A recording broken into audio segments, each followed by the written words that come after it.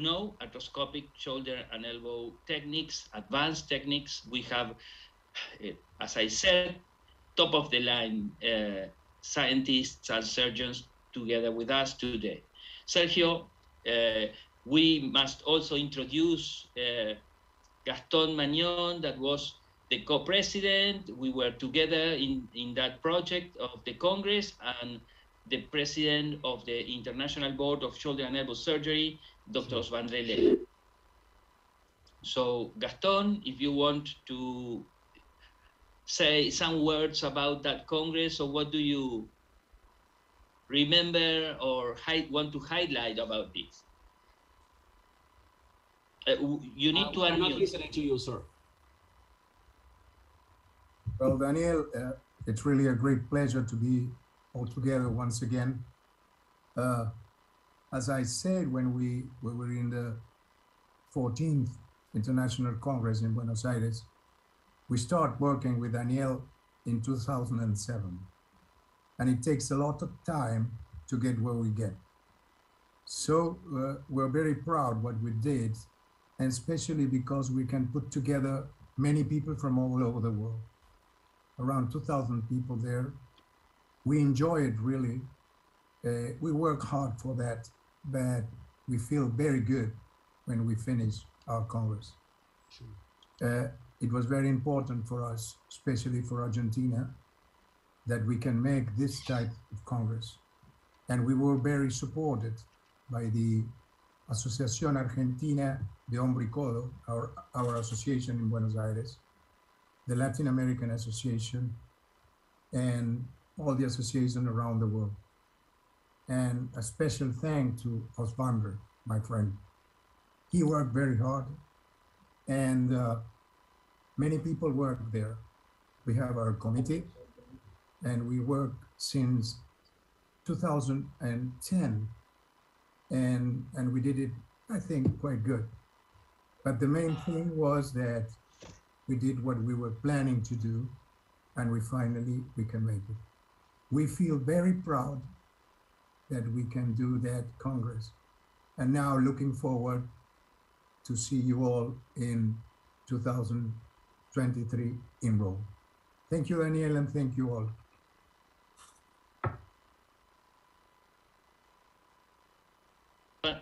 Osvandré, uh, welcome.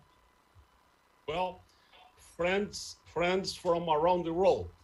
Today I'm wearing this hat, and this means in honor of our last meeting exactly two years ago in Buenos Aires.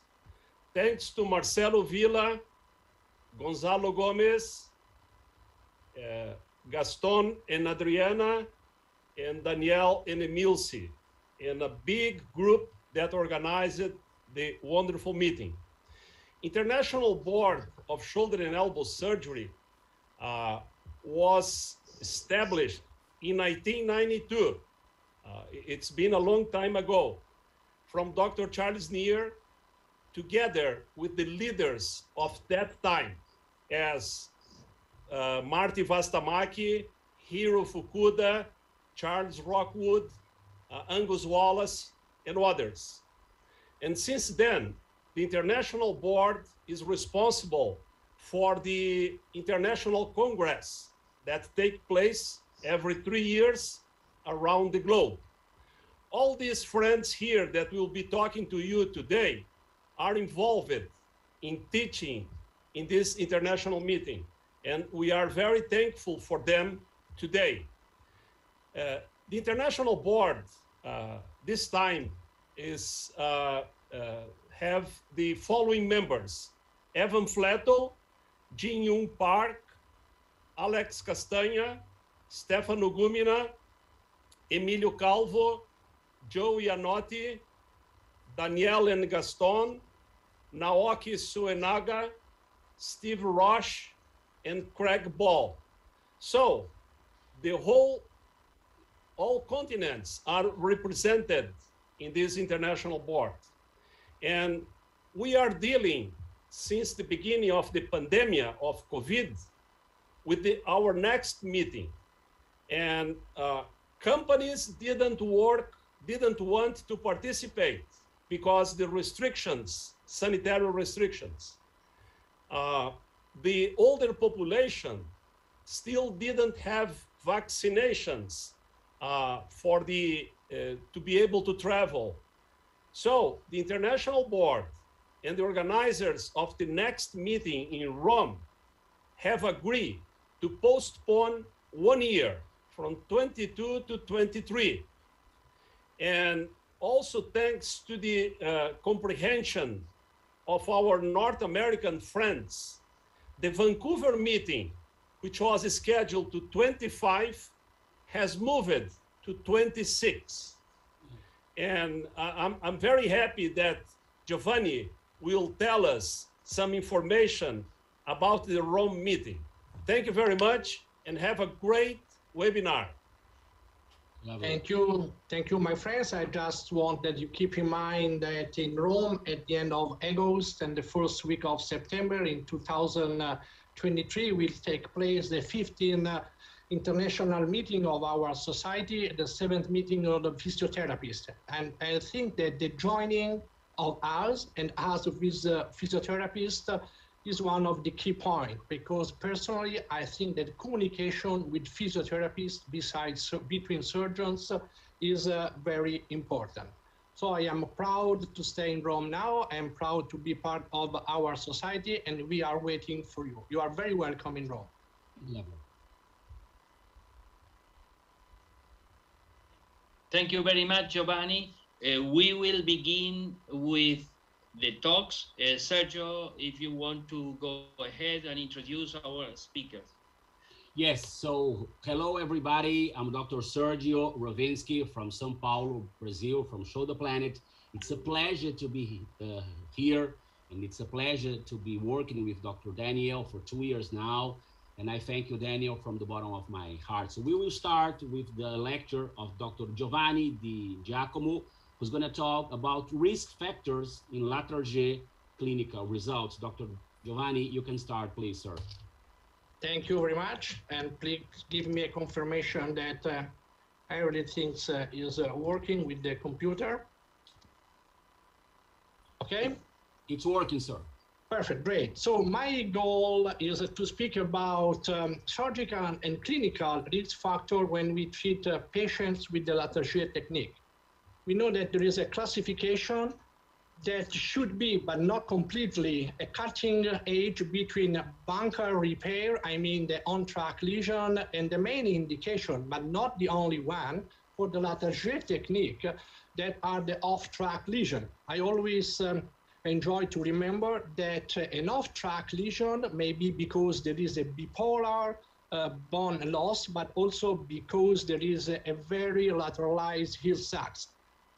Remember that the more Hill-Sachs is uh, medial, the more possibility you have, like you can see in this video, the Hill-Sachs is going to be enlarged medially, can engage. So in our practice, the main indication, but not the only one. For off-track lesion are, for the Latarjet are the off-track lesion.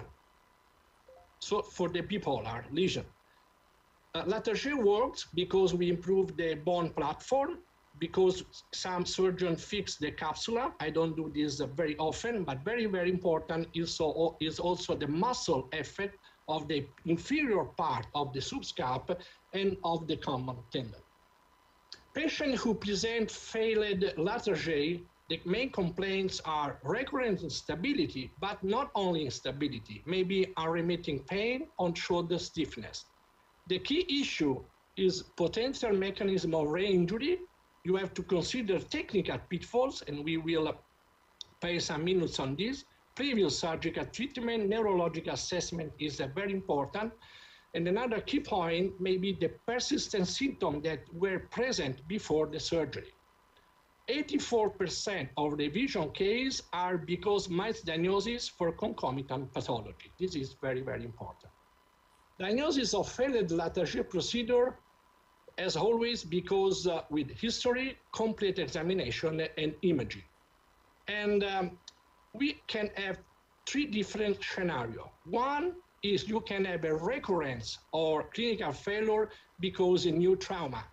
And of course, we, in, in this case, we cannot, nothing is a, a unlucky patients. But very, very interesting are the two other points. One are the te technical pitfalls. First of all, you have to be able to remove the right side of the coracoid. So you have to perform the osteotomy in front of the conoid and trapezoid ligament at level of the knee of the coracoid.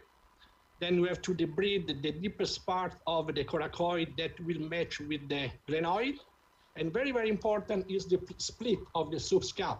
I think that the split is one of the key points instead of tenotomy. This is, of course, the right shoulder, and the GELPI are showing very well, very well the plane between the subscap and the inferior capsula.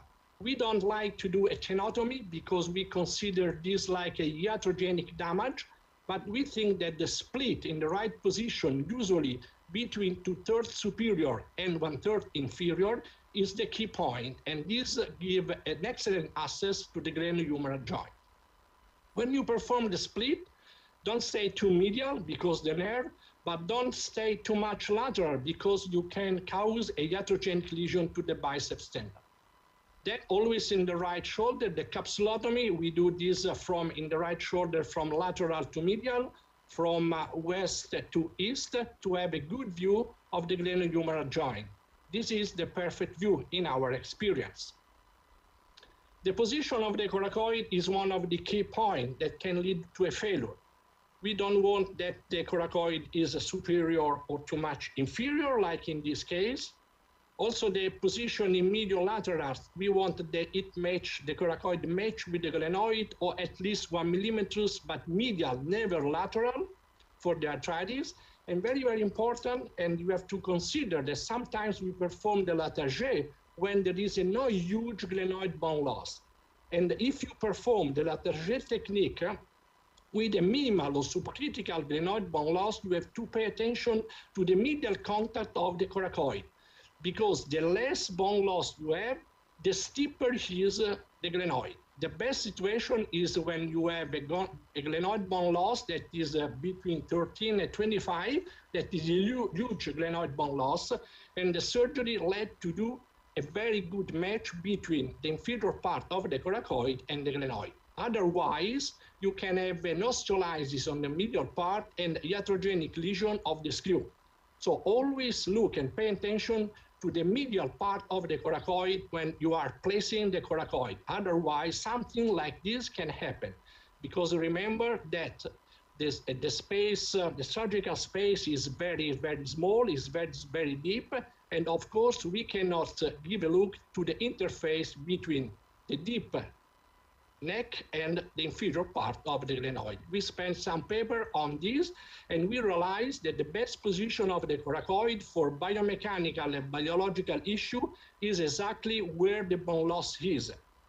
And we to try to fix uh, the part of the uh, coracoid that is close to the tendon because the best vascularity exactly where the bone loss is to have the best mechanics. We call this mechanotransduction and this is a classical view of a very good results after two years of the patient. This is not a complication. This is a normal biomechanics according to the world flu. Misdiagnosis can be another cause of uh, failure. And uh, I always remember that failure is not only recurrence, but may be a clinical failure with a very high WOSI or not good SANE. And we did uh, a study on more than 300 patients and it's interesting that other authors, like our friend Giuseppe Porcellini, he did the same paper, but on arthroscopic uh, but Latarjet, looking which could be the preoperative risk factors that can lead to recurrence of clinical failure. In Bankart, sex, age, elapsed time seems to be at risk. Race, bilateral age, and number of dislocation are risk factor. And so there are many publications that try uh, to help the surgeon to individuate those patients that could have a not good results after arthroscopic Bankart repair. Looking at the Latarjet, the risk factor that we try to study were sex, age at the first dislocation, dominant versus non-dominant. Mechanism of the dislocation is very important. Unilateral versus bilateral is one uh, of the most interesting part. Duration, it means elapsed time. Preoperative uh, dislocation, the number, characterization of bipolar on track versus off track, and age at surgery. This is some statistics. I don't want to bother you. This is the final results. Risk factor that we can uh, check before the surgery, before the Latarjet procedure, are a traumatic mechanism of primary dislocation. I want to focus the attention always, and I do this every day, on the mechanism of the lesion in first time dislocation. And for me, when it's atraumatic, anterior inferior is a red flag, not only for Latarjet, but of course also for Bankart repair. Bilateral is another independent factor. Bilateral shoulder instability lead to four time risk of recurrence, a traumatic to five risk times of recurrence. Patients with bilateral shoulder instability were five times more likely to experience this time clinical failure and female three times greater clinical failure. So I think that uh, what means bilateral, what means atraumatic? There is something that then the studies, uh, uh, we, we, we need to improve our knowledge of something that uh, we don't know exactly very well in this moment of the shoulder instability history. Maybe something genetic profile, like yeah. of course uh, the version of the glenoid or some concomitant uh, uh, laxity. So in conclusion, risk factor before Latarjet are bilateral shoulder instability, atraumatic mechanism, and female. Thank you. Nice. Um, Giovanni, ex yeah. excellent exposition, thanks. Uh, do you have a better solution for the uh, atraumatic young multidirectional patients that that keep uh, dislocating at this point? No, I, um, I would like to say yes, but I don't have any um, excellent solution. You know, that the first thing that I stress is that the rehabilitation. I sure. think the rehabilitation is that the key point. And sometimes this, I don't know in your country, this could be interesting, but in Italy, in Rome, there is the function of modalities. And I don't want to say that modalities doesn't work, but it's not a key point. In this kind of pathology, I think very important is to reinforce the core, to give core stability, and to study to improve the scapulothoracic motion.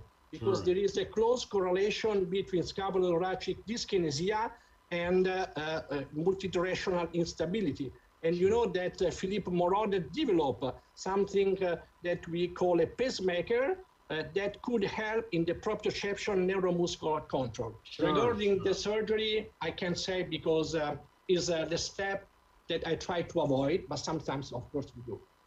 Johnny, question for you. Uh, the question would be some choose to uh, repair capsule with their Latarjets and some choose not. This is a perfect example of a difficult patient. You could call it a loose shoulder. You could call it some degree of multidirectional because there's an inferior component to it. Uh, but nevertheless, they're anterior dislocation with hallmarks of a Hill Sachs. What's your recommendation on how to manage the anterior capsule when you are dealing with a sort of a bony defect and you're going to do your Latarjet? what is your criteria for uh, repairing? You made a comment you don't always repair. So, what is your criteria for dealing with capsule? In patients that have um, genetic patholaxity and they fear of concomitant traumatic anterior inferior instability is the only case where I detach uh, the capsula from the medial glenoid and I to recreate a shift from uh, south to north but another step that I think is very important in this kind of patients, the split of the subscap. Instead of doing the, the, the split between two-thirds inferior and one-third superior, I do the split uh, a little more superior. So I have uh, more subscap inferiorly that can help the common tendon in the muscular function on that they guarantee stability in upper position. Injo, Eric, can I? Injo, sorry, Sergio, Injo no, was asking to say something. Okay, good. Yes, go Hi, ahead. Giovanni. Uh, thank Hi. you. Uh, your lecture is always clear.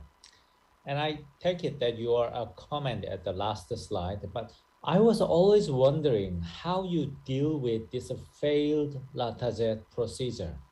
What is your recommendation if you have a failure of the Latarjet? Okay, you have to understand which is, of course, the cause of uh, failure. Uh, of course, uh, in uh, my patients that are, have a failure and they have a rate of failure that is between 2 3 uh, percent, uh, sometimes maybe that I missed a nail sacs that was very medial, and so in patients that don't play uh, overhead sport or contact sports, I did uh, a new scope with a remplissage Bankart repair. In other patient, I use a graft of the crest, uh, of the iliac crest, and I perform a new uh, graft on the glenoid. Yeah, the Eden-Hybinette. Exactly. Uh, yeah, uh, Giovanni, just a, a question to you. Uh, I think that revision of a failed uh, a failed Latarjet is a nightmare. It's very difficult. I faced that uh, two or three times in my life, and I did an edge and Ibinetti, but I was mesmerized by the amount of fibrotic tissue and the anatomy is absolutely, as Philippe Valenti says, distorted. And the musculocutaneous nerve was in front of the screws. And I had a lot of difficulty in taking out the screws of the failed Latarjet, okay?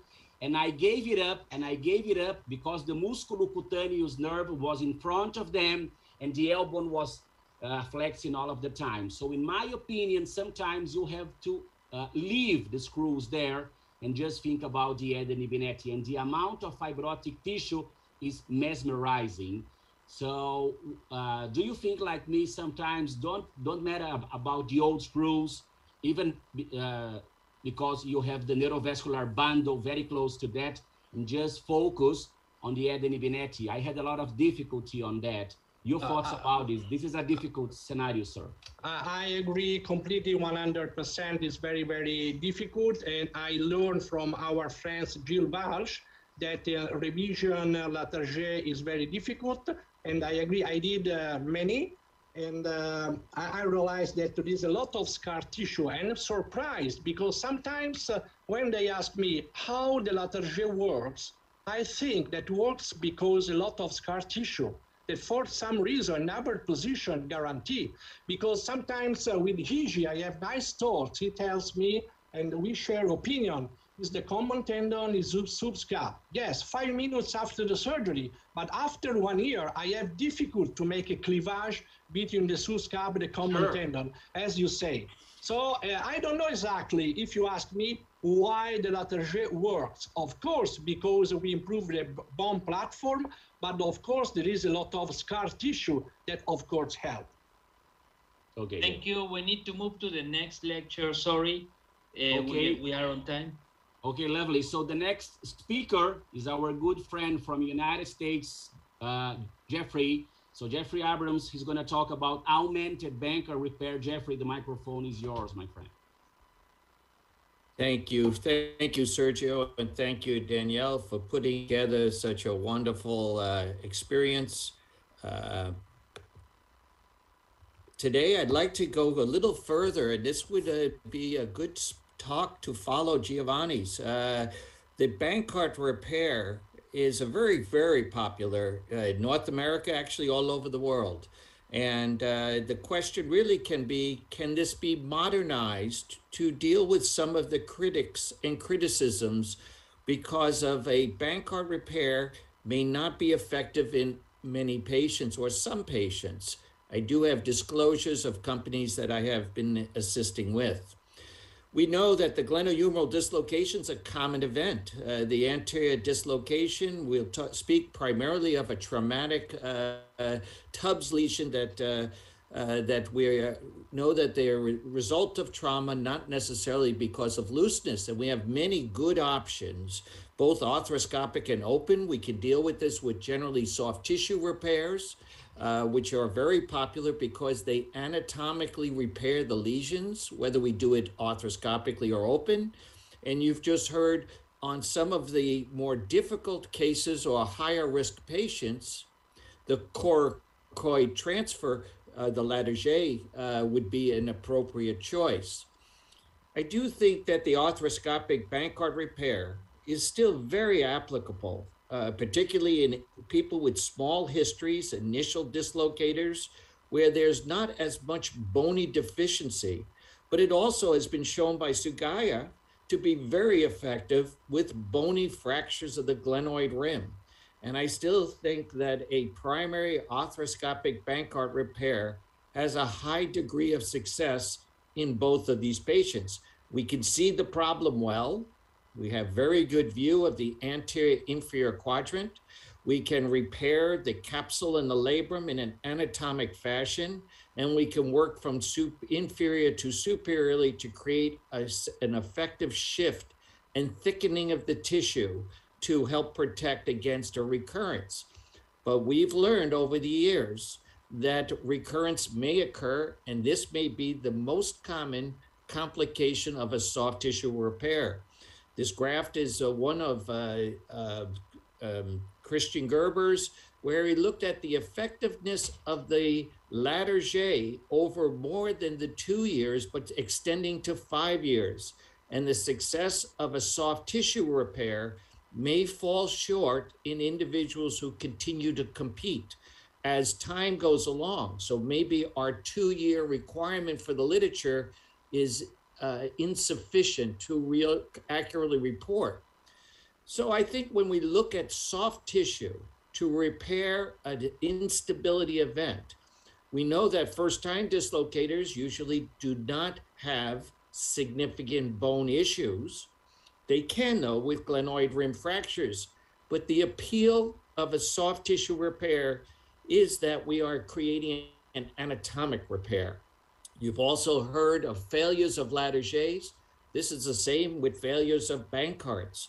Age, the younger, higher activities, collision sports, glenoid bone loss, off track lesions clearly will present as an early recurrence after a Bankart procedure. But I think when you look at five and 10 year results, you start wondering whether there's a capsular remodeling with combined trauma that can place certain shoulders at risk. So I'd like to present some ideas how to make your arthroscopic Bankart.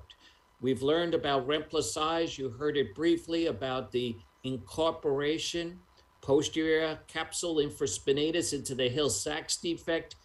And we're starting to learn of the bipolar and the relationship of a larger humeral head lesion with a glenoid rim deficiency. So over the past 10 years, I've chosen about 25 patients with what I call moderate bone loss. This is between about 15 and 20% of the glenoid. Included in this were several seizure patients, revision or failed prior surgeries. The patients at risk, I feel, have multiple dislocation events. In this case, many times more than five. There's sporting activity in my world, wrestling, collision sports. They may even experience an instability event while sleeping or have history of seizures. And many of them have had a failed previous surgery. The apprehension sign is very important. The load and shift can often reproduce crepitus in the office when you examine the shoulder. Imaging studies can demonstrate bony changes of tissue MRIs, although not often my practice can show soft tissue injuries like HAGL or lateral capsular injuries. When we look at the CT scan, we can try to estimate the amount of glenoid bone loss, as well as, with some difficulty for me, understanding humeral bone loss and where is that Hill-Sachs lesion? How far is it from the rotator cuff insertion? When we look at a load and shift toe, we can appreciate the palpable effect with the arm in neutral, a little bit of abduction. We can see about posterior and inferior. And we could also place the arm in a more provocative position and mm-hmm. see if it locks out. But don't try 90 degrees, 90 degrees because subscapularis can limit that anterior translation in this position. I still prefer lateral decubitus. However, beach chair position can be utilized.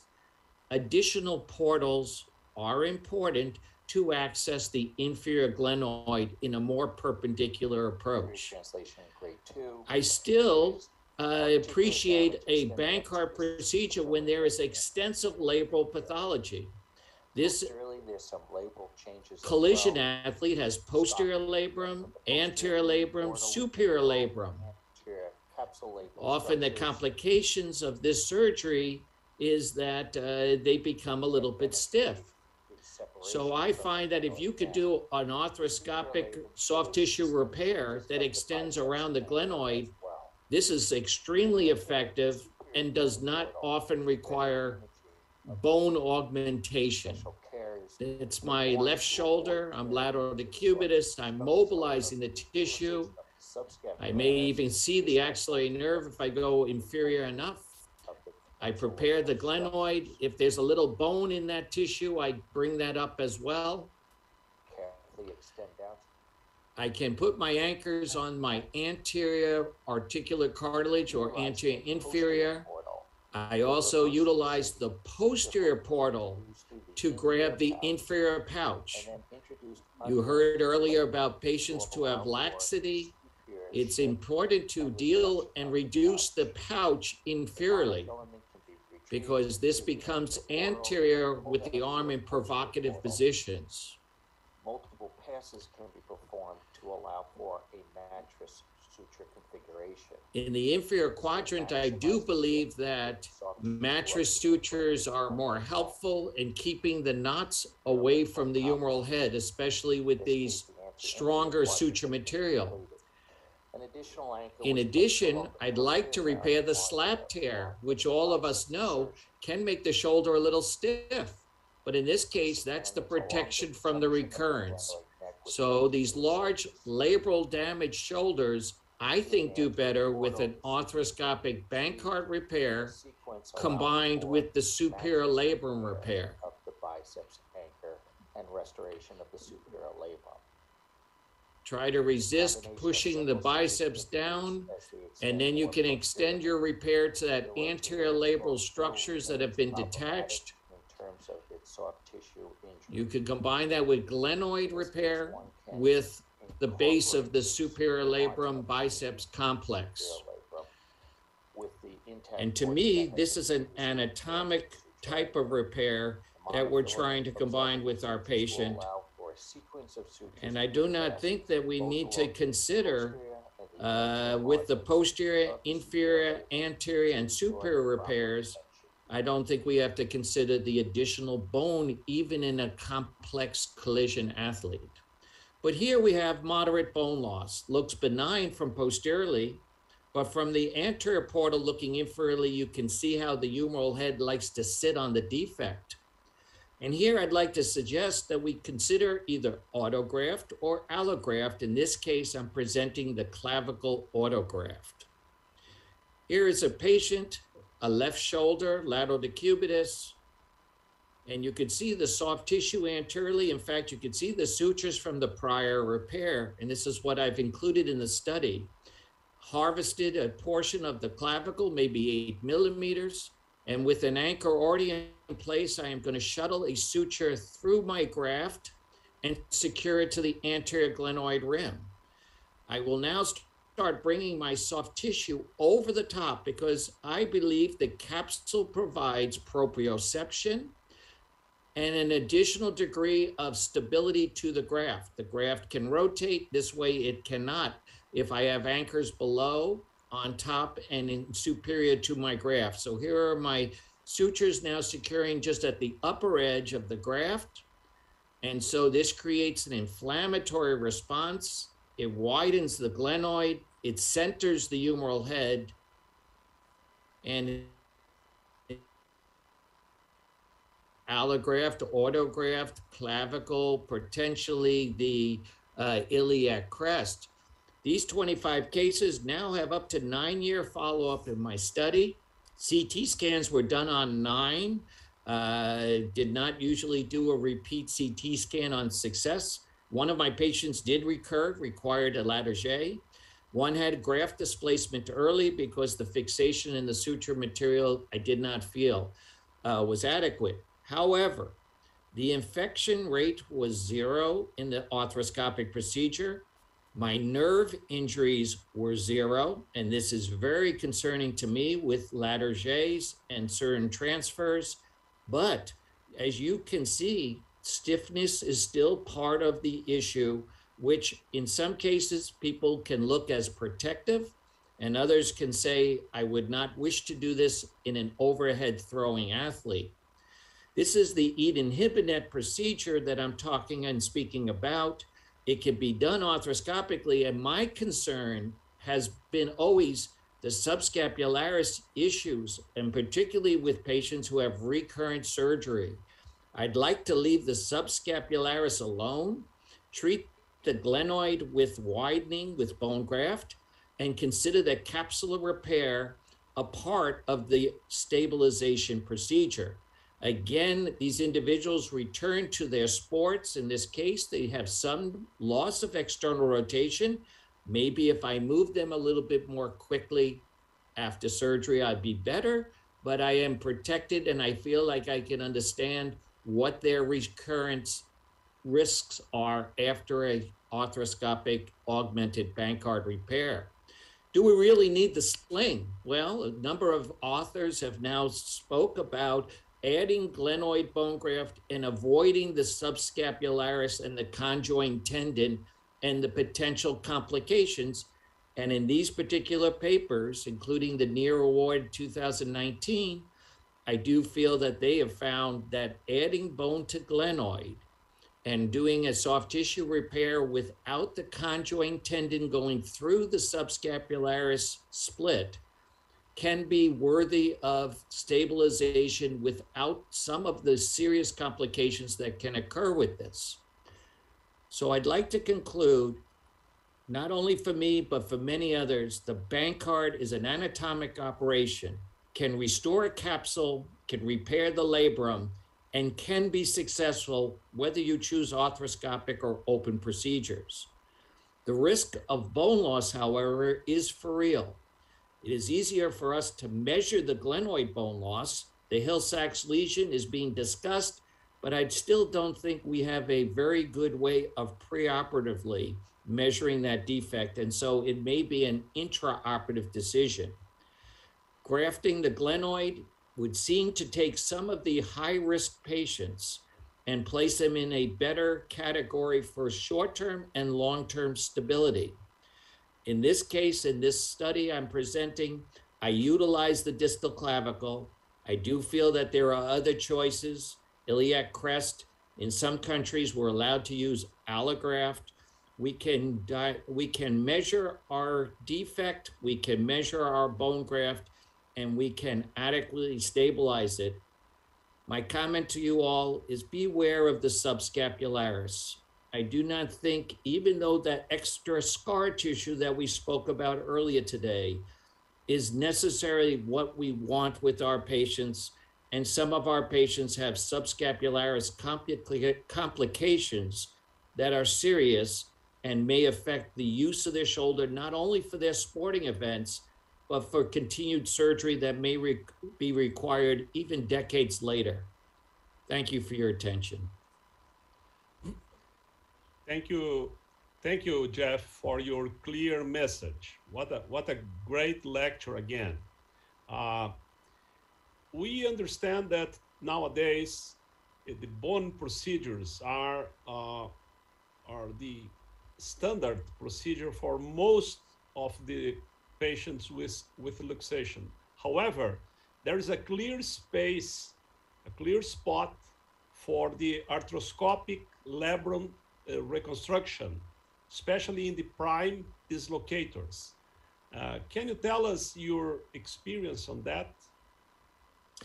Yeah, I, I really think, you know, I would I'm born at the right age. I watched extra-articular procedures become intra-articular procedures, and I've felt that it is better for the anatomy of the shoulder. So my bias is to try to maintain articular anatomy. In this case, a first-time dislocator, most often with the sports that I see, are primarily Bankart soft tissue lesions or small bony Bankarts. I would not delay their treatment till end of season with bony Bankarts. If you can address them early and place the bone back where it came from and put it anatomically repaired, I think you will have a high degree of success. Where I think our problem is, is the recurrent dislocators. An American once said, you don't have to fix first time dislocators.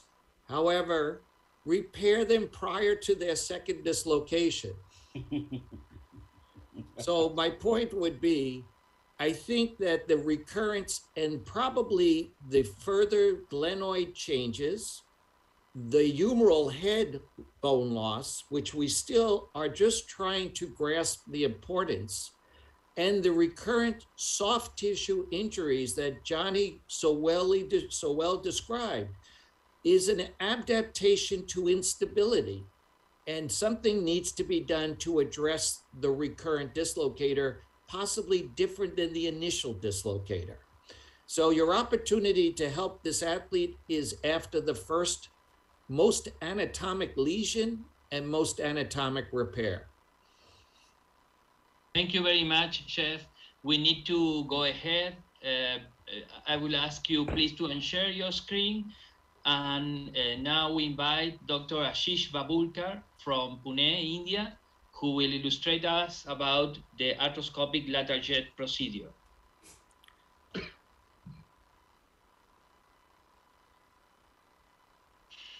Thank you, Daniel, Osvandré, and Gaston Maignon. It's such a pleasure, Sergio, to be back with you, the same team from ICSCS. And these are such fascinating lectures. Uh, the topics you've selected are eclectic. So I just cannot leave my screen. I'm totally focused on this. So continuing with this theme, uh, let me uh, pursue with the topic on arthro and our experience. And we are aware that uh, the Latarjet has undergone so much evolution from the original accidental Latarjet that it was from the failed Elmslie 3R that Michel Latarjet did to the extent where Laurent Lafosse converted. And I think that was a complete inflection point to introduce arthroscopic Latarjet. And you must understand where I came from, that I was a dedicated open Latarjet surgeon and I was a complete naysayer against arthro Latarjet till such time that I visited Annecy and it took one day in Laurent Lafosse's theater where he did five arthro Latarjets to convert me completely. So having come from there, we all agreed that uh, after that excellent talk by Giovanni to explain that there is a lot of difference between Latarjets that are done between all of us, depending on how we split the subcap, how we deal with the capsule, do we release it, do we repair it, do we burn it, and also where we put the graft, whether it's a standing graft or a Bristow type graft. So I don't think all the Latarjets between all of us are the same. So because of the variations that we do between ourselves.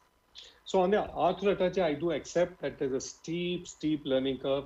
And I still have some very close international friends who have sworn they would never, ever do an arthroscopic Latarjet. And that kind of freaked me out in my initial days that, oh, this is something that should never be done. There are risks. It is not really an arthroscopic procedure where because it is mostly a soft tissue endoscopy. And that's why we must understand that the field can be full of blood and you can get stuck and you should be able to bail out quickly. You are flirting very close to the nerves, especially the musculocutaneous and axillary nerve.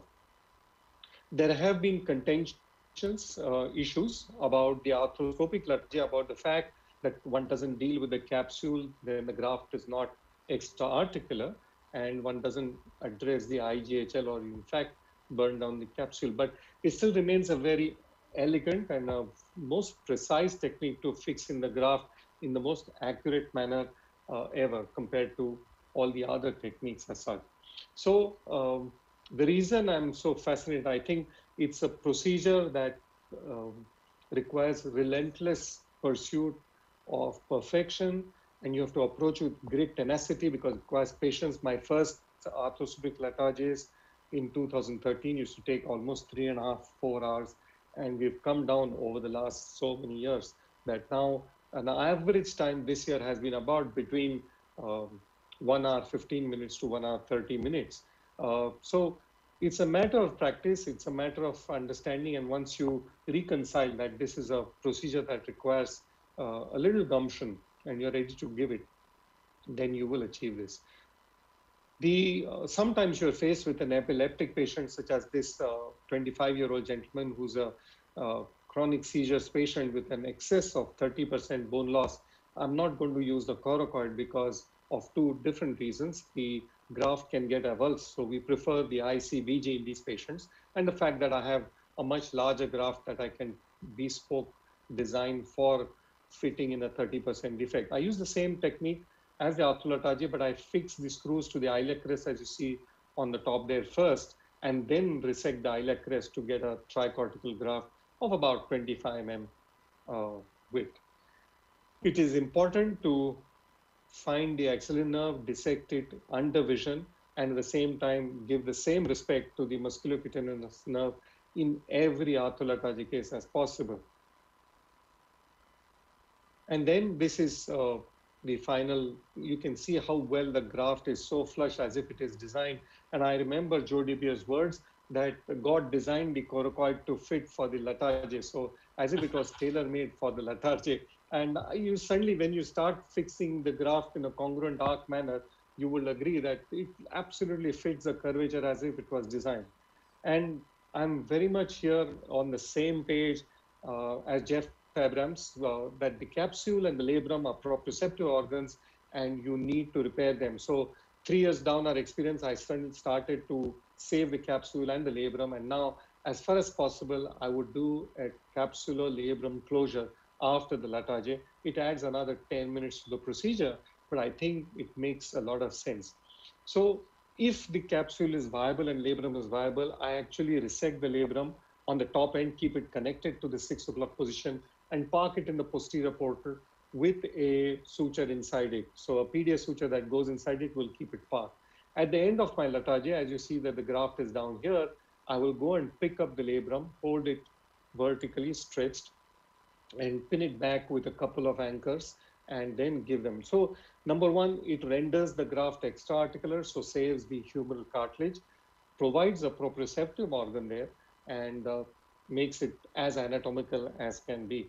So of course, in cases where there is no labrum and it's a poor quality tissue, I'd go ahead and just debride it and the Latarjet would still work. I would always, always do a post-op CT scan for all my patients between about three to six months post-operatively because the x-rays do not give us enough information. So yeah.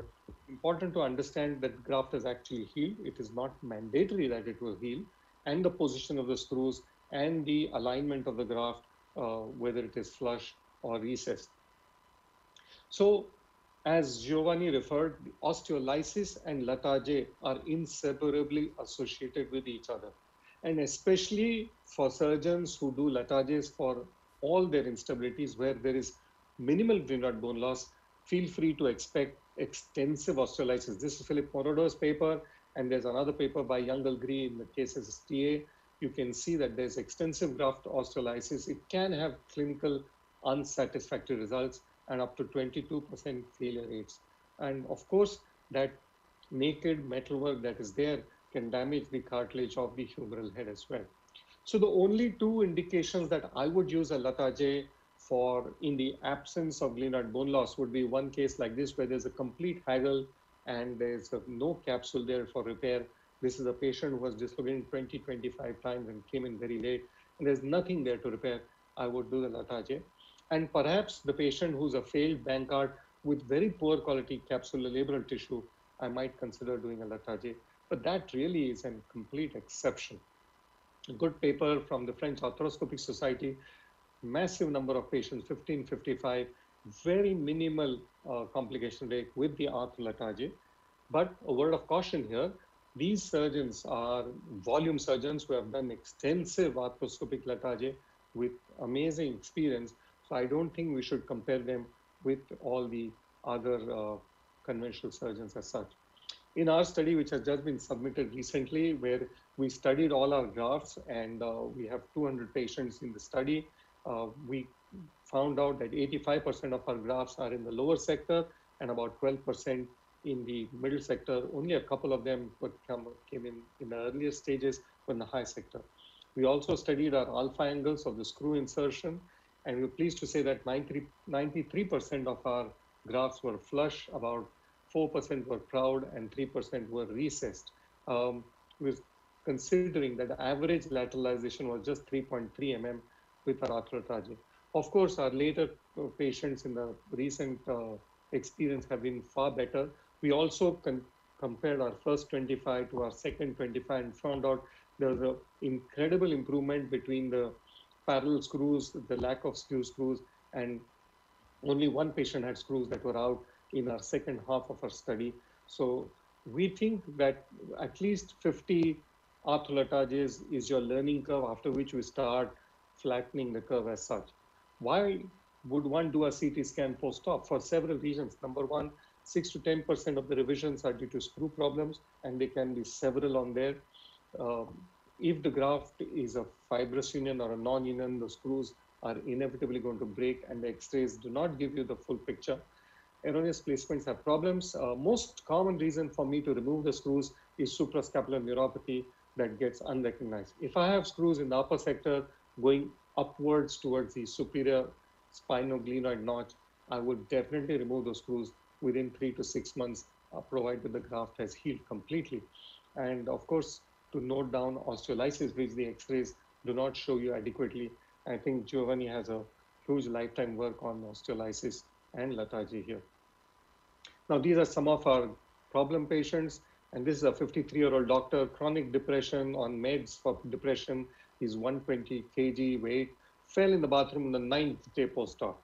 And then we said, it's okay, we don't need to do, we did his x-rays and looked excellent. Uh, started his rehab after two months and was doing well. But as I said, the x-rays don't show you enough. Houston, we have a problem. So yeah. although the first two CT scans show okay, on the second one, you see the graph has completely avulsed off. He's clinically doing well, but this, unless we did a CT scan, would never ever notice what is happening here. This is a young 21-year-old wrestler whose graft never healed, and he continued wrestling. Uh, and then seven months down the line, his screw started breaking. We had to do an Eden Hybinette for him to revise him as such. So you can see that the CT scan shows you a far better picture and the reality than the X-ray can reveal half the truth. And then occasionally you do, I do a premature coracoid uh, cut, and then I have a very small 18 mm I would use only one single screw, will go slow on these patients. He was a revision Latarjet from a failed Bankart, but fortunately his bone graft has healed and that was well established only on the CT scan and not on the X-ray. So in conclusion, I think coming to our end, uh, there are several other issues about the assessment of glenoid bone loss. If we have imperfect in information, I don't think we can take perfect judgment. Uh, restriction of external nutrition was noticed in our series when the grafts were higher positioned. And then there's a complication rate with uh, nerve injuries. I think Inho John's paper here from 1999 and several others have shown that you need to be careful about the nerves. On the revision Latarjet, I'm not so worried post arthroscopy. We see a much lesser scarring. Mm. And if my patient has fallen, injured, and broken the graft, I'm okay with that. My biggest worry is the grafts that have healed and then they have failed. And those are the laxity ones, and those are the nightmare ones. So, lastly, in conclusion, I think the long term failure of Latarjet can be a very challenging problem. I don't think Latarjet is a solution for all difficult instabilities. Sure. Unless there's bone loss, we should not attempt the Latarjet. And there's a lot of discussion between whether the ICBG is better or the Latarjet is better or the tibial allograft is better, but that's for another day's discussion. But osteolysis, as I said, is inseparable from Latarjet if you do it in the absence of glenoid bone loss. Thank you very much for your kind attention. Beautiful. Thank you very much, Ashish. I am sure that Sergio has a question. 10 million, but I'm gonna do only one. I would like to, to talk five hours about this. Uh, I'm gonna do a question, uh, and I would like to listen Jeffrey, Giovanni, and Ashish because I think it's a very practical question for all of the, for everybody who is seeing us uh, all around the world. All of us have, uh, all of you have mentioned it about doing a capsular application intraoperatively. But the thing is that in my experience, when you have uh, a chronic dislocator and you are doing a Latarjet, in spite of wanting or not wanting to do uh, a capsular repair, the, the fact is that in the in uh, in practice there is there is no there is no soft tissue to be repaired at all because soft tissues they are very damaged in chronic uh, dislocators. So having said that, I, I dare to say that that would be much more in chronic dislocators a theoretical issue than a practical possibility. And I have a lot of experience with people that dislocated 30 times, 40 times, and soft tissues, they basically, they are not there anymore. So having said that, do you agree with me in this long time chronic dislocators? I, I think that this is important from a very practical point of view. Can I go in she first? wants to say. Yeah, yeah. Obrigado, Sergio. Um, your, your point is well taken, but I mean, you know my country, and in India, we get 50 time dislocation and 60 time dislocation. Our healthcare system is built like that. So there are challenges inbuilt into the system. And I don't think that's true. Even when I used to do the open Latarjets, and I did a fair bit because I trained under Joe DeBeer, uh, I think the capsule is always there. And Mhm. I can foresee a scenario where you've got rugby players, you've done a Latarjet and they're stable in the mid range, but they're unstable in the abduction external rotation, throwing position. So you can have that situation where a patient is not dislocating but still unstable. Mhm. It is that IGHL repair which will give him stability in that abduction external rotation position. So if you have a capsule labrum, please, I beckon you, please go ahead and put in at least one anchor or tie it down to your screw. I would do that. There is that rare situation in an arthroLatarjet where the capsular uh, labrum is completely torn off and then that's fine. The Latarjet will still work. But if ever you have a capsule and if you don't have a labrum, make that effort to get that IGHL because you want a north to s- uh, south to north, pants or vest repair. Yeah, It doesn't shift. matter what shift. you're doing to the subscap. Is that you cannot measure the capsule stretch and the volume loss that has happened. You have to factor that in into a repair to make that a real successful procedure. Okay, Jeffrey, your issues on this soft tissue, uh, poor tissue quality. I have seen this so much, so many times. Uh, and when you see that, well, do you agree with me that many times you have nothing to do, just uh, uh, I would say, uh, upon the Latarjet itself? So the, the case that you've stated and I have seen is when thermal treatment was common. Mhm. And therefore, you, those individuals did, did have an absence of capsule. Mhm. But I tend to agree with Ashish that many times we do have some capsule and it's usually inferior. And the Yeah. question really is can the inferior capsule be brought up? In some cases, complication of capsule repair and bone grafting combined makes a shoulder tight. So I don't think in that case the inferior pouch can be reduced, but bring your capsule directly over your bone graft and don't try to do too much of a shift. Yeah. But I do think you can close capsule in many cases. The Mhm. ones that you have to be suspicious is the HAGL lesion that has missed and many years has been present. Again, it is a difficult capsular problem. But I do agree, even with multiple dislocations, maybe arthroscopic is easier than Easier. open. You could actually see the capsule inferiorly almost in all cases. So there's something to repair. And I, and I agree with the speakers. I would try to repair it when possible. Okay, Giovanni, any issues on this? No, no, Yeah, we, I are, don't- we are not yeah, listening yeah. to you. Okay, I don't stress in a standard uh, Latarjet, if, uh, even if they recurred uh, maybe 20, 25 times the capsular repair. Uh, otherwise, they have a, a laxity component. I Mhm. have more or less uh, 1,500 Latarjet, and in 95% of these, I uh, did not fix the capsula, and uh, I don't have results that are different from the standard literature. Ashish, I have a question for you. To and Johnny, Yes, you can sir. chime in. When you looked at the X-ray carefully that you showed of your seizure patient, and maybe two slides before, you look at the glenoid view, and it appears that the humeral head on these X-rays basically is sitting on top of your repair. Is this ideal situation where the shoulder, the humerus stays somewhat anterior, inferior translated? Or are you trying to see a more classic picture of the humeral head centered on the glenoid? I know arthroscopically it looks pretty good, but when you get your post-op x-rays, sometimes the humeral head sits, what I think, on top of your transferred coracoid. What do you consider ideal in when looking at your post-op x-rays? And do you make any adjustments because of this? In one case, this may be why I fixed capsule. So what do you feel about that type of x-ray view when you're when you're done with your surgery?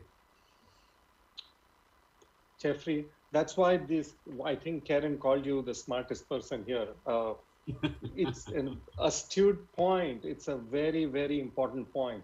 And it's very critical to get that head of humerus in the center of that damn glenoid. And uh, I find three reasons for that. One, if you've not restored the glenoid bone loss adequately, number one. Number two, the capsular repair will help push that head back in there.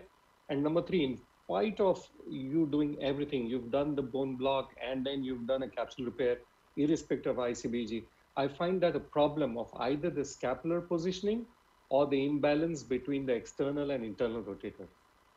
And I see that very commonly in the epileptics.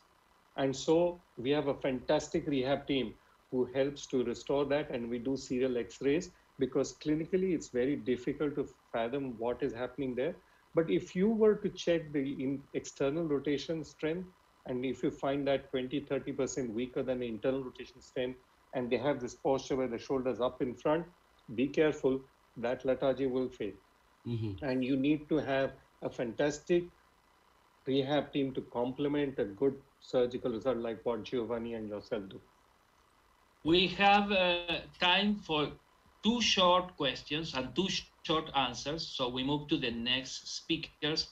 Uh, Cesar, you were raising your hand, and then Inho. Go ahead. Y muchas gracias. Una, una pregunta que Yes, nos- thank you. A question that always comes up is among those patients that do not have bony defects, without bony defects, but they're young, sports people, they're they're at the verge. Those we doubt of. This is a question for any of the three with your excellent presentations. But in those patients, the question, specific question is, we don't want to place any bone, but we know if that we go to arthroscopy, we are almost going to fail uh, patients we have already operated on. They have collision sports, they're young, they have almost all the traits of those patients, but they have intact bone. They're, they have some laxity, they've had some dislocations, some have had some surgeries and they dislocate again. Do you think we can do a Latarjet, but without that bony biscuit? In other words, doing uh, that type of effect with a capsule plication or a Bankart, a conventional open Bankart. So we go directly from uh, arthroscopy to a Bristow-Latarjet. So that's the question. Do you think that there are i- intermediate points using both techniques Inho, uh, Right. Inho? Yeah, you can I have that. a very uh, short practical question to Jeffrey No, no, and no, no, I meaning I, I was meaning your, your the answer to that question, and then go ahead with your question. Okay, okay, got it. Right. So I'll take that. Cesar, thank you. Ah, okay. This is interesting. And uh, I can tell you for one thing, I, I can get guillotined in France for saying this, but I would never do a Latarjet in the absence of glenoid bone loss just because he was an athlete. but I know where this comes from. And there's a lot of push in Australia, South Africa, and France to do a Latarjet across the board.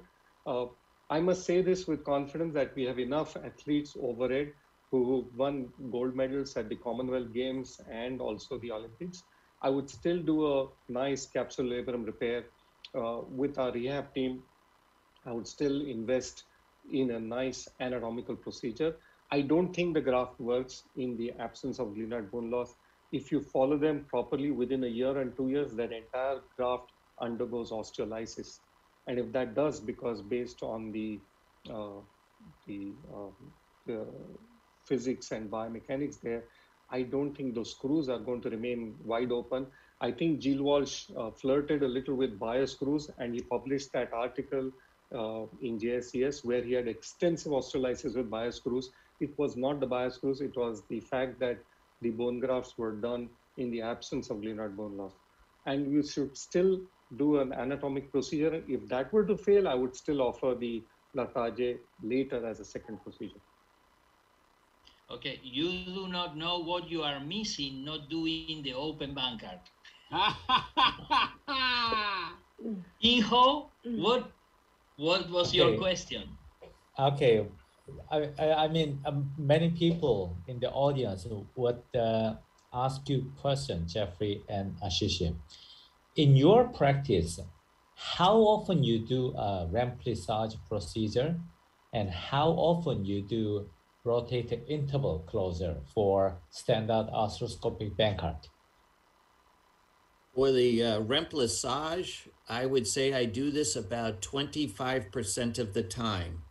I look for a Hill Sachs lesion that is more lateral. So the concerning lesion that Johnny had presented, the medial lesion, is a problem. That's an articular fracture. And I don't think you can put soft tissue into an articular fracture and expect a good result. So if it's a deep Hill Sachs lesion laterally, I often put my anchor in, my sutures in, but I do not tie them until the end of the surgery because when I pull on those sutures, it's like a Fukuda retractor. It pulls the humeral head posteriorly and gives me an extra instrument in the shoulder. The rotator interval, I often I do close, I would say more than 25% of the time. And I attempt to incorporate the coracohumeral ligament, which is lateral or outside of the subscapularis, not just the middle capsule ligament. And that, with a suture that will become non abrasive to the head, I think runs the risk of tightening the shoulder. So, not so good in an overhead thrower. So, I would say at least one third of the time, I am adding one or both of those techniques to my Bankart. Okay. Thank you. We will go ahead with the next uh, presentation. We are running 10 minutes late. Uh, Inho uh, from Korea, we appreciate very much your participation and let's go ahead with your talk. Uh, thank you, Daniel. Uh, it's a truly honor to join this uh, meeting because this is uh, has a lot of memory with the ICSES 2019. Now we move on to the uh, rotate cuff and uh, uh, Osvandré and Daniel, your passion in 2019, it reminds me a lot about the history in 2016 where the ICSES Jeju was held. And still I remember that the stimulating, uh, you know, uh, moment which I shared with you all. Okay, uh, for the last 10 years, more and more SCR surgery were done here in my clinical practice. So we have done over 132 cases of SCR and let's share what we learned for the last 10 years. Most of you are well aware of this graft preparation. We do uh, use a double folded fascia lata autograft. And this is the uh, MRI period course of three months, nine months, and then eventually patients have a good uh, functional outcome. So here I would raise three important questions with you. First one is, does SCR really improve shoulder function? Second, do we need to change surgical technique anymore?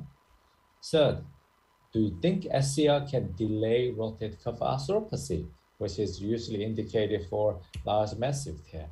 So the first question, SCR improve shoulder function. So this is our uh, midterm clinical outcome from 2013 to 2019.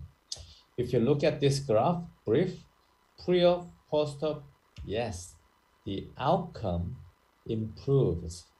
I mean, the uniformly in the literature, they say the favorable clinical outcome after SSCR. How about the midterm MRI follow-up? I mean, we uh, take the MRI at follow-up period, and it was uh, the, the graft healing was rather disappointing. Even though the clinical outcome was very good, the graft healing was rather disappointing, 67%. So when we analyze this graft failure pattern, mostly the graft failure occurred on the humeral head side. So why it happens on the humeral head side, not the glenoid side? Repair uh, timing, mostly within three months and some until six months. So early failure was the uh, consequence of this uh, double-folded fascia lata.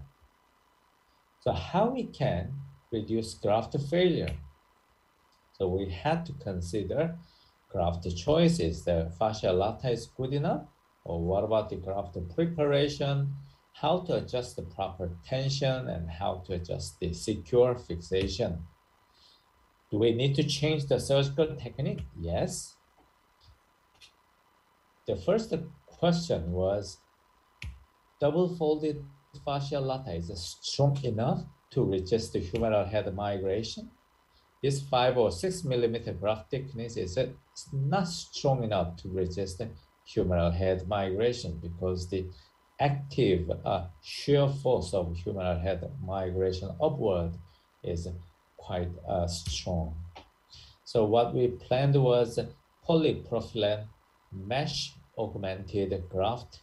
This polypropylene mesh is often used in general surgery hernia, hernia repair.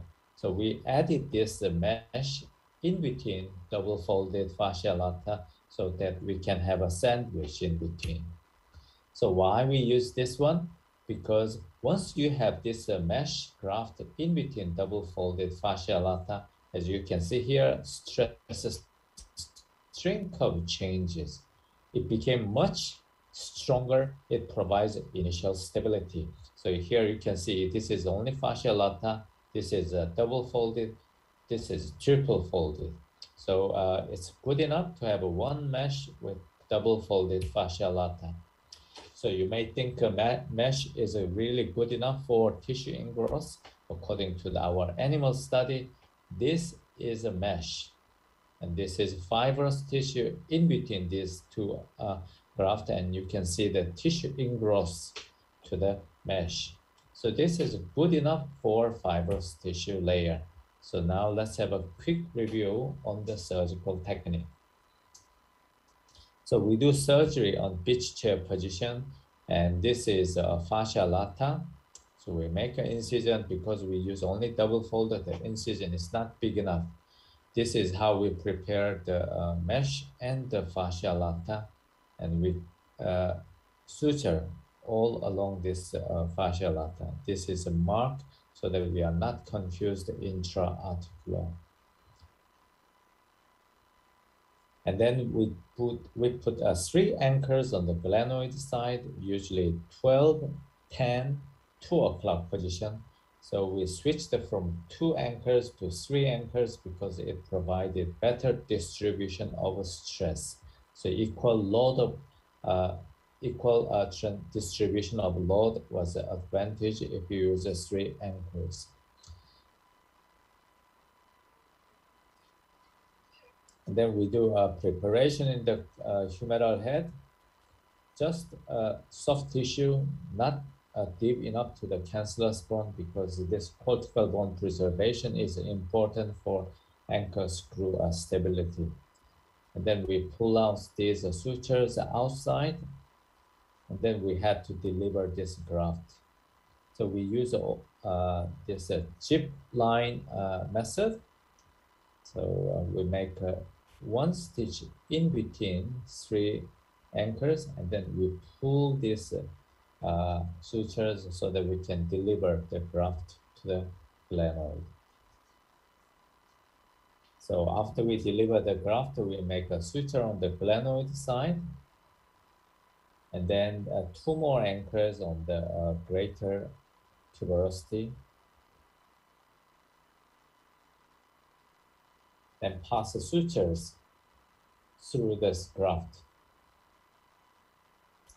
and secure fixation.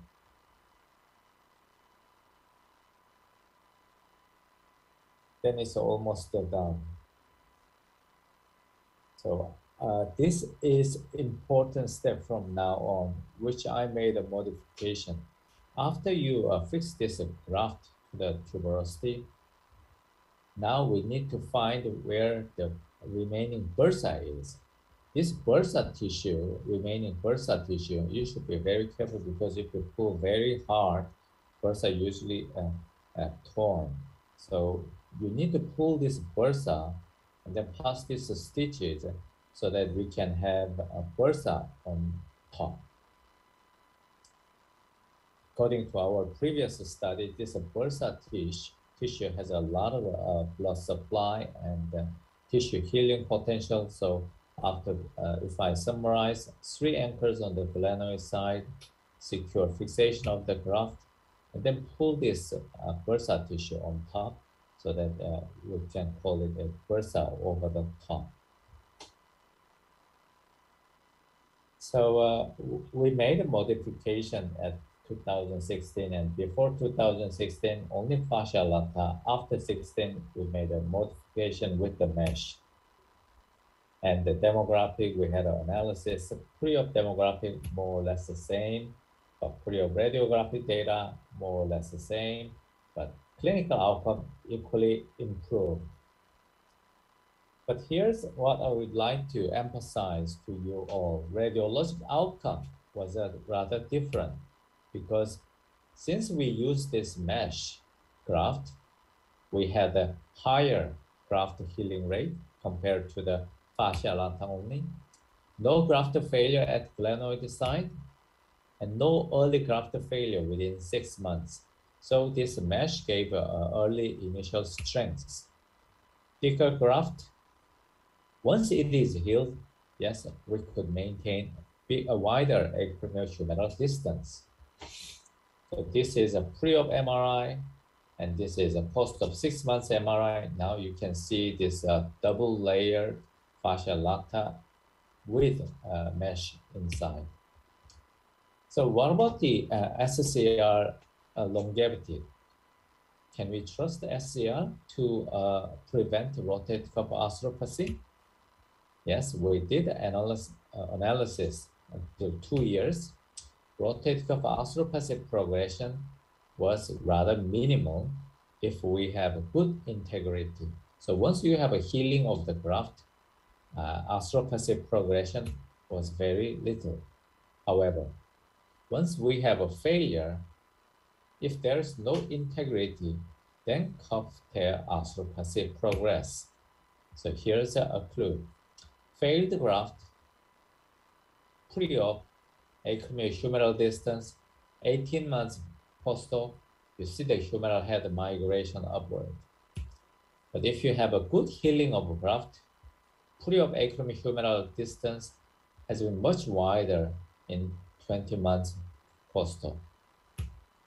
So SCL by using mesh graft, I think this we can have a thinner graft and better initial strength and enhance the biologic scar formation through this mesh and better grafting incorporation at post-op.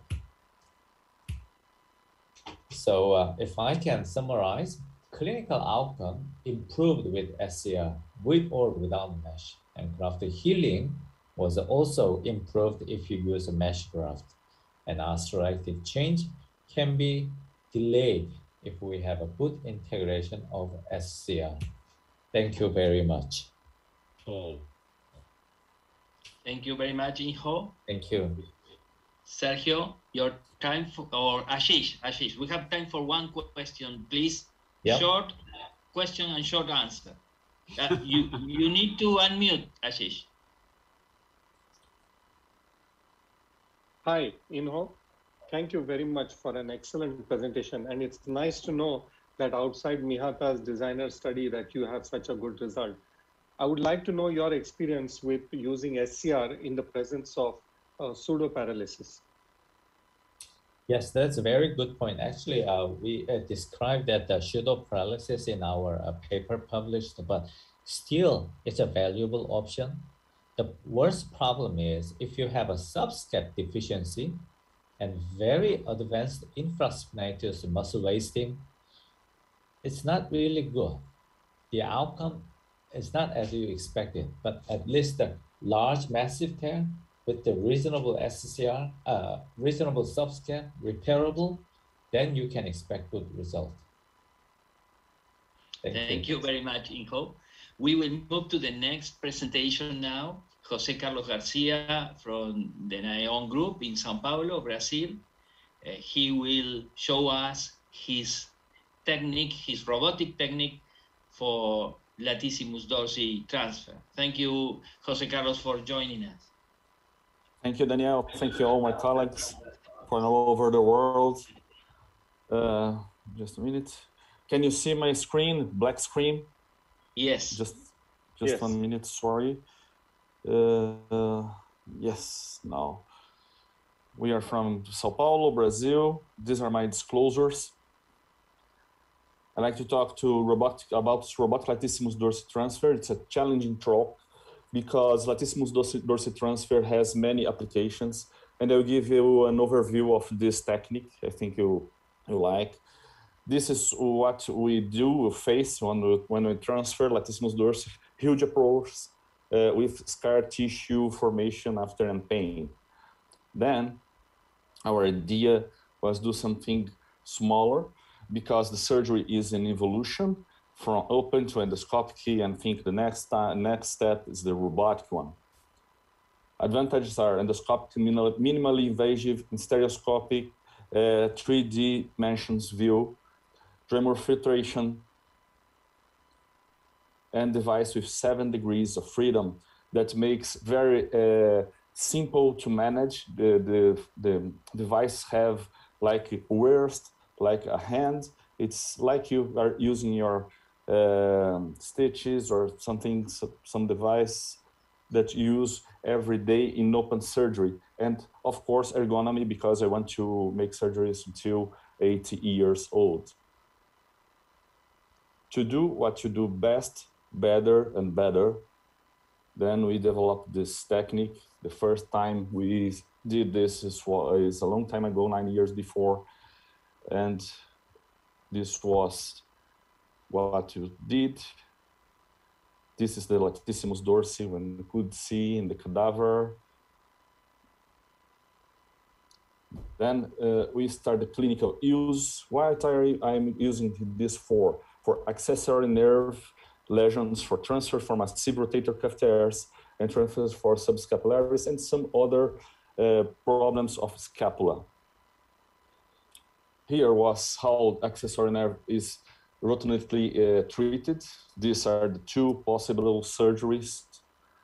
And we uh, were figuring out why don't use the latissimus dorsi as the instantaneous rotational center moves from medial to lateral during abduction, then it would be more uh, rational. It's like the upper trapezium. Medialization of latissimus dorsi could less moment of downward rotation. Transfer latissimus dorsi in abduction changes its action from downward rotation and depression to upward rotation and depression, improving elevation mechanics. Uh, remembering that happens because levator scapula is weaker than the upper trapezium.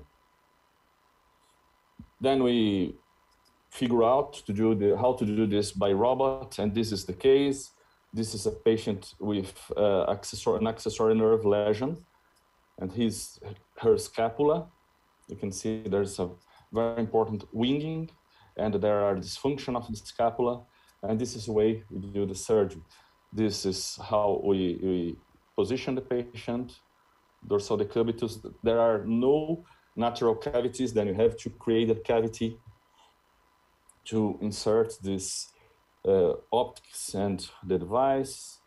Here, how we make the surgery. Here is an external view of the surgery. And here is how it looks internally. The teres major is separated by the uh, the lat latissimus dorsi in this image, as you can see.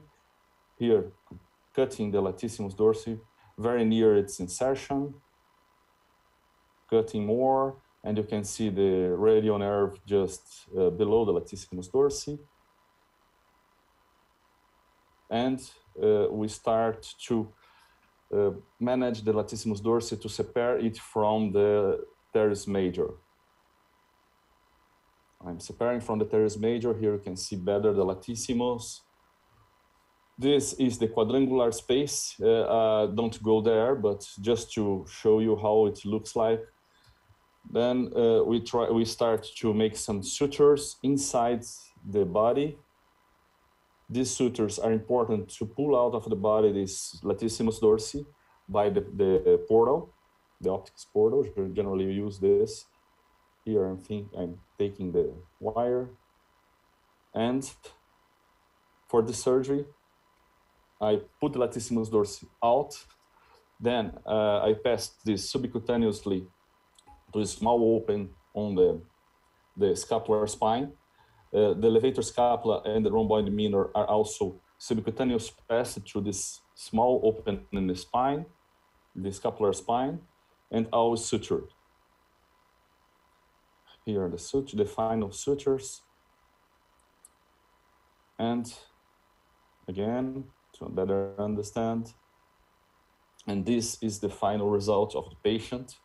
You can see that 11 weeks post-operative, she is very well. And here is the retraction he gained after surgery.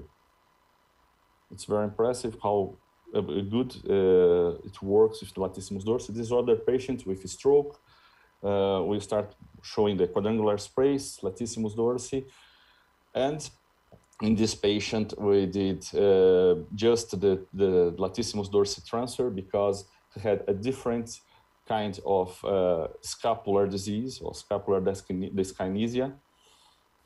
Here, cutting the latissimus very near the bone. You could see the bone before. Yes. It's a very cautious, uh, the use of the scissors, suturing again, putting out of the body and again making the sutures out of the body now and passing through the scapula to treat some scapular dyskinesia. This is the final surgery. It's okay. There are other applications used for massive rotator cuff tears. I'll just show you the last part. The first of the, second the latissimus dorsi is the same, but you use these uh, uh, wires to pass subcutaneously to the ten, to the the rotator cuff to the deltoid approach. Sorry, and here is the final. And finally, the subscapularis. I think this is one of the good applications we have done now, but now we're done in uh, dorsal decubitus and instead of the, the supine decubitus. Here, subscap totally uh, devastated after a Bristow surgery that he has 30 years before. Here's the position we did the patient, the insertion of the robot in the axilla. Here how the robot works in this space. And this is the video. Oh, sorry. This is the latissimus I removed and inserted in the humerus. is the latissimus, radial nerve is the scissor. You can move the radial nerve and see the humerus shaft. Then we find out the margin of uh, the latissimus dorsi, the distal margin, and the uh, proximal margin, and then we Rubis. we use to to to to remove the latissimus and separate him from the teres major again. The device are not uh, done for surgery of orthopedic surgery. Then we have some problems sometimes. It's not so easy, but here you can see we um, removing some adhesions of the rhomboid uh, major and latissimus. Here, just small approach to do to do that all that. We have to remove all the adherents, the adhesions. We have the latissimus, and we transfer to the subdeltoid space and insert him on the humor uh, on the uh, less tuberosity of the humerus, as you can see here. This is the latissimus coming up, and this is the result.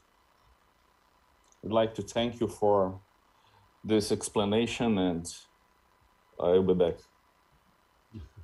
Okay. Thank you very much. Really amazing. Uh, is there any question, Sergio? We have time for a question. Inho? Dr. Inho. Jose, it was amazing technique. Beautiful. Amazing technique. Any chance we can apply robotic surgery to rotator cuff or glenohumeral surgery? Yes, yes. What is the future? uh, I think uh, we have this this space for do that. Uh, we have to uh, develop some devices because the robot's not adapted to orthopedic surgery, uh, unfortunately. But uh, I think in the future the robots will be the standards we will have to use in all uh, applications. I don't know how long this will happen, but I think in the next 10 years we will change a lot. Now we have some robots for prosthesis in knee and in hips, and in the next years to come from shoulder. Then I think the robotics are the future and are all day part of our uh, day by day saying OR. Sure.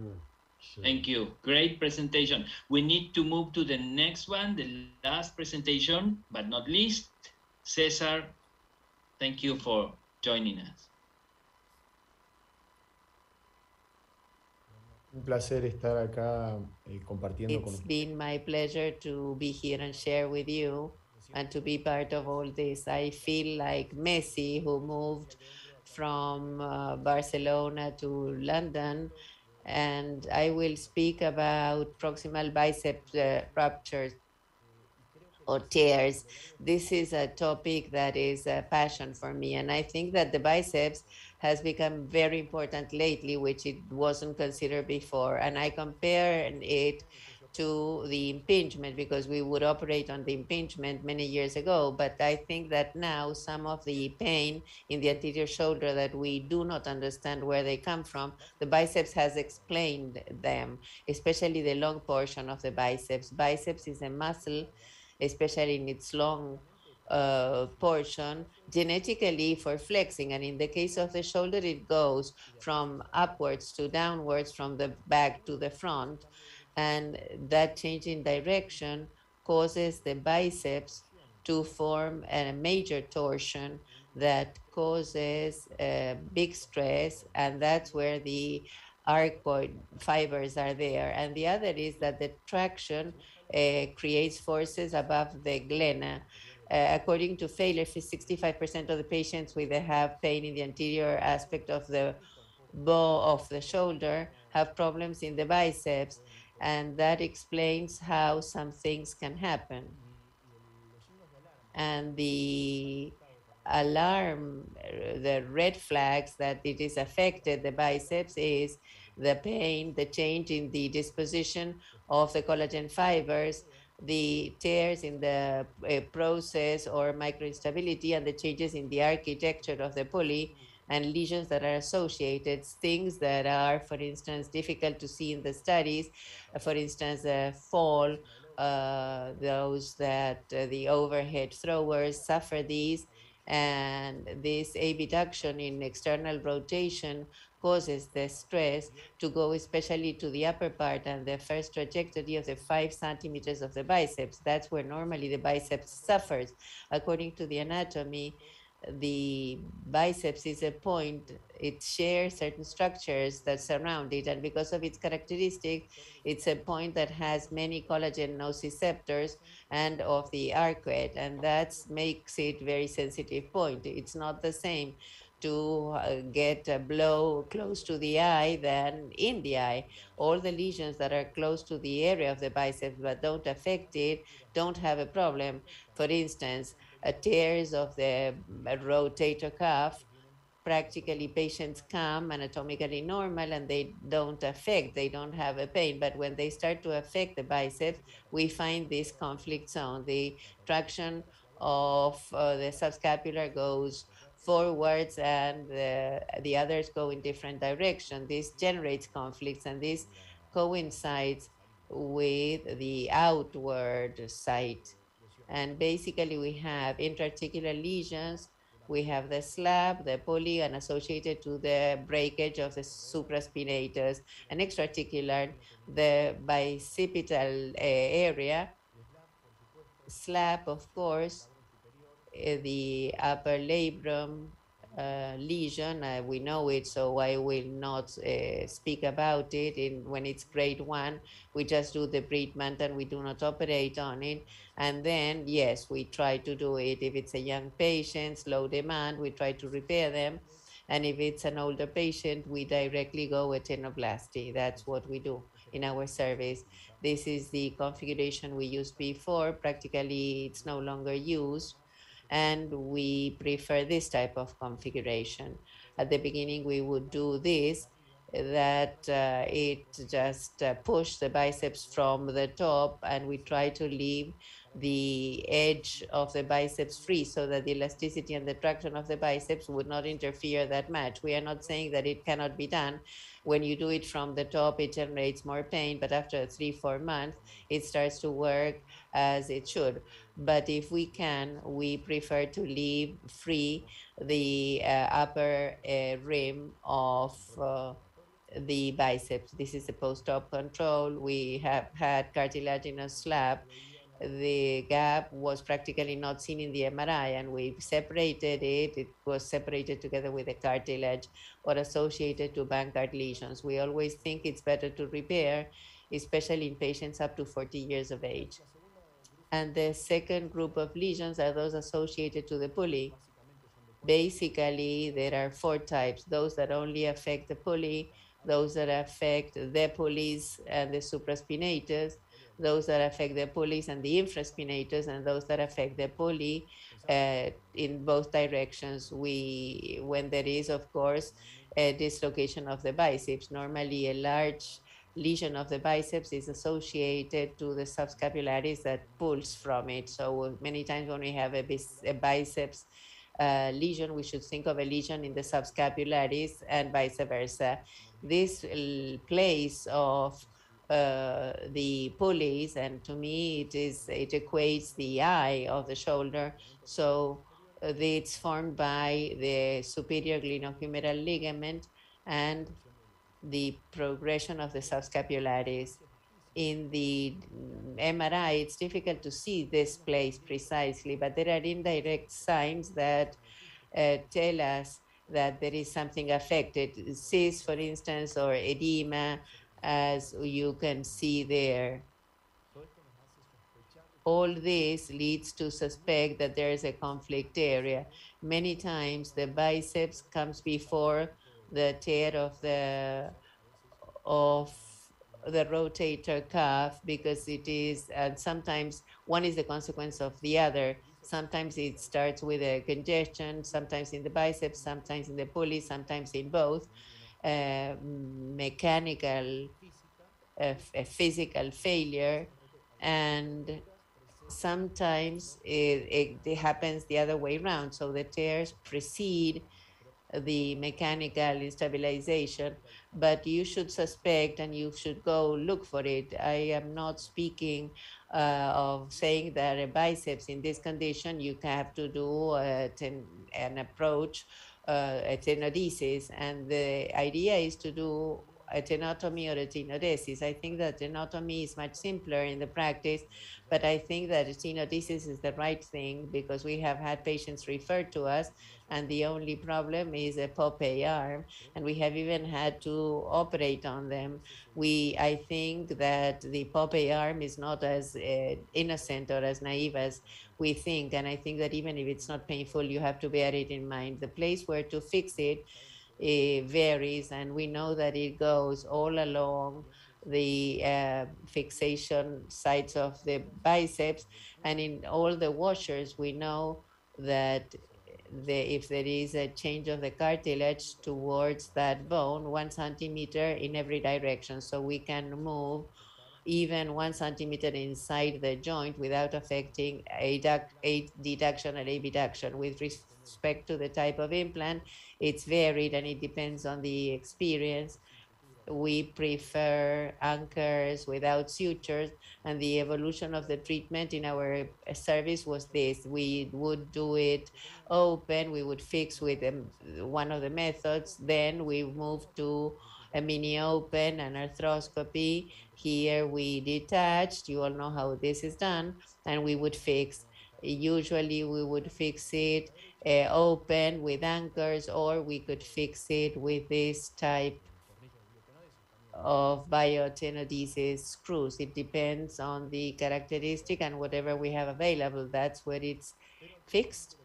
And what we have been doing lately is this type of surgery. And basically, what we do is in lateral decubitus with the arm in abduction, which we think is the best anatomical position for the biceps to preserve its length we fix the biceps. Here the technique shows that you first cut and then you fix. We prefer this type uh, we prefer this type of fixation. And here we cut first and then we fix. Since we do it in lateral decubitus and in extension we think that it can offer the chance of first fixating the biceps fixating it and then cut this eh, facilitates uh, the practical work, we think that the result is the same. This is looking at the washer from inside the joint. This is a 70 optics and this is a 35 optic as the one we use. So we mark the, in we place the suture we place a stitch like the one we saw in the scheme and without cutting it, we fixate it in there, even up to one centimeter uh, inside the cartilage. And we use two portals, an anterolateral and a superior. That's how we get in 90 degrees. And once we fixate the tendon, we leave it there. The third group that I said were those associated to uh, to the rotator cuff. And what we do is that when we have a rotator cuff tear, it's important to go and look at the biceps, not because it might be torn, but sometimes mechanically the structure of the pulley is altered and it needs, you need to go and look it and fixate it where it should be. This is the last video, not very clear, sorry, so we place, we prepare the bed, that is the biceps tendon there. We are placing an awl and the, there we see the tear of the rotator cuff, that's the biceps. We place an anchor. We prefer always to place uh, biodegradable anchors. That's our preference, but we know that maybe other anchors can be used.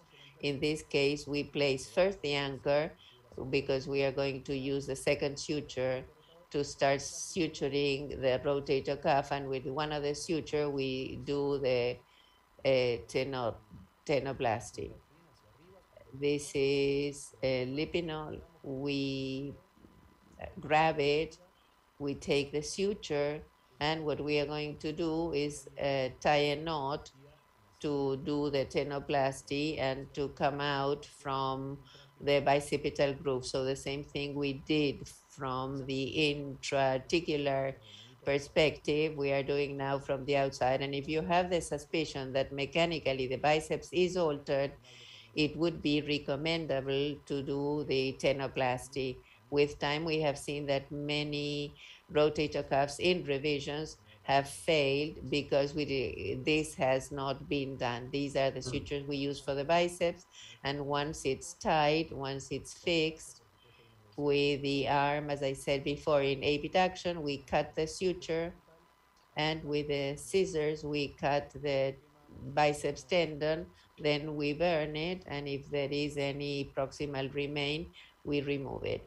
This is the surgery that we perform in our service. This is what we do now. And thank you very much for your attention. And at the end, it was just tenotomy and tenotomy. Thank you very much. Please unshare your screen. Okay, thank you. Is there any question, Sergio? Yes. Gaston? uh, okay. Uh, Dr. Cesar, beautiful presentation. I am a biceps killer. I have a lot of reasons to be a biceps killer. And the thing is, uh, I, I want to make a, comment and then uh, a question. When I deal with strong people, strong, I would say amateur, but strong people who go to the gym, and whenever there is a biceps pathology associated, I like to do always a subpectoralis tenodesis, which is, in my opinion, the safest, the safest, not only because uh, you can have a very good function, but because I believe a lot in pulley pain, sir, in pulley pain. So even sometimes when you do a tenodesis intra-articular, you can have some remaining pain in the pulley. Snyder said, uh, is a strong believer in this, and me too, which is basically impossible to manage. So, so to get out of trouble, it, uh, you should do not only a tenodesis, but a subpectoralis, which is out of the pulley. I think that would be very wise, especially in heavy users. Giovanni is uh, doing like this with his head, much probably he agrees with me. So Giovanni and Dr. Cesar, uh, do you ag agree with me? This is a very important message for the juniors in India. Many young uh, people is watching us, and I think that this message should be highlighted as long as you ag agree with me. First, Giovanni, and then Dr. Cesar, please. Okay, I have just a very, very, a very, very short message. In male, I perform uh, tenodesis subpectoralis uh, opening by the scope the pulley. In female, because it's very rare that they make the Popeye, I do tenotomy, but I always open the pulley to the scope. So the pulley is the key point. Sure. Dr. Cesar. Yo personalmente, en un momento, Personally speaking, at some point in time, I thought exactly what you thought. I think that the biceps is pretty more loyal than what you think. Um, personally speaking, once you take off the excursion of the pulley, it asks for you to stabilize it. I think that in a suture in the pulley and three weeks on a sling, it could be very good. Sometimes it just cuts alone and it does not retract. Sometimes the tenotomy doesn't retract. So regarding the strength, I do believe uh, when you think about individuals who go to the gym very quickly and after a week they want to start working, I agree fully. And even we should place at least two anchors if not a, a biotenodesis screw. 100% agreed. But the 90% of our patients want just one stitch, just one excuse so that they don't, just give me one excuse so that I cannot free myself. It could be one stitch, it could be a harpoon, a suture, or even a biotenodesis screw. there's no difference. Regarding the excursion, when you do tenoplasty, excursion uh, is no longer in the groove. I mean, that gives you the external rotation that makes the biceps do the anti-natural, so to speak, movement. So when you do tenoplasty, wherever you do it in the groove, that torque movement is lost. So conceptually speaking, although I agree, mechanically speaking, the only thing the biceps needs is an arthroplasty in any of those places, and the mechanical pain of torsion uh, is is gone. But I fully agree with the notions. Let's say. Thank you very much. Yes, Jeff? Danielle, just one quick question. When you deal with a weightlifter, you're trying to either avoid operating on the biceps to avoid risk, but if they have pain from a damaged biceps, the disturbance can be within the groove. Sure. My, com- my, my comment to the people are be careful. Weightlifters are just going to stress your repair. But collision athletes are a different animal. And you have to be careful because the size of the hole in the bone and the location of the hole in the bone can become very important. In a collision athlete with a diaphyseal hole because of a interference screw can be a risk factor for For fracture. For fracture. And so it's better to be a little bit more superior, super pectoralis or groove, or even up in the groove, may be safer for your collision athlete. So that's a little bit different than just a weightlifter and fixation. Thank you very much, Jeff. Thank you very much, all. We are on time. I, I would like to take the opportunity to salute our friends and colleagues from Europe that are having at this time the European Congress. Uh, we got a like in the announcement of this meeting by Prem Lubiatowski that is uh, the one who is doing the challenging task to organize this meeting in, in the tricky circumstances that we are going through now, but uh, I know that it was a very su- successful meeting. Uh, so, Osvandré, your last words. I just want to thank you all, and it was an amazing webinar. Thank you, Daniel. Thank you. Great job. Great job. Thank you. Thanks from our colleagues from the other side of the world, Europe and Asia. Uh, you've been very kind to us. Your uh, your lectures, together with Garcia and, and Ruiz, have enlightened our Saturday. And uh, the more we go, uh, it doesn't matter how difficult it is to communicate these days. I can see in the eyes uh, the wish of teaching, of sharing experience, and mainly uh, the wish to be together uh, sometime in the future. So this is our spirit, and our shoulder planet, our shoulder community keeps growing. Thanks, Jeff. Thanks, Giovanni. Thanks, everyone here.